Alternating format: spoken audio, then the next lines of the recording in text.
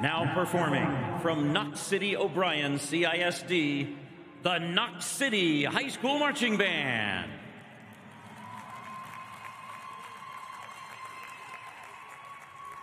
Knox City High School's program is entitled Banana, Banana, Banana. The UIL is proud to present in state finals competition drum major Vicente Samano and the Knox City High School Greyhound Pride Band.